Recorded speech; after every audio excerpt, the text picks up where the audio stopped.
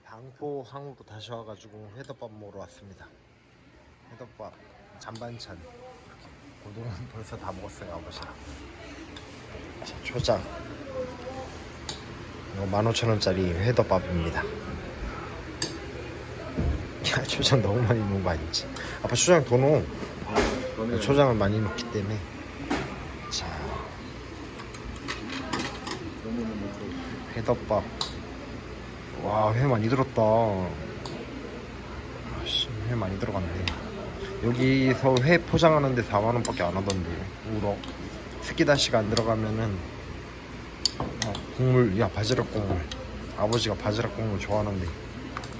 국물 나왔어. 와.